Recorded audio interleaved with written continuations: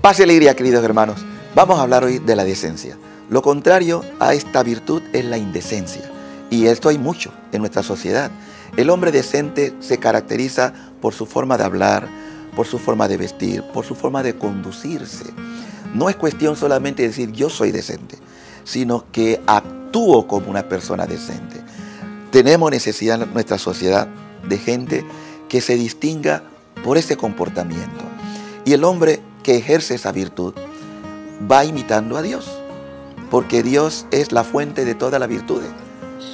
Dios es decente y decente con nosotros, nos trata con delicadeza.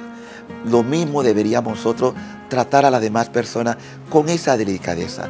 Cuando usted obra de esa manera, usted está dándole el lugar que merece el ser humano, porque todos somos hijos de un Padre que ha sido contigo y conmigo decente.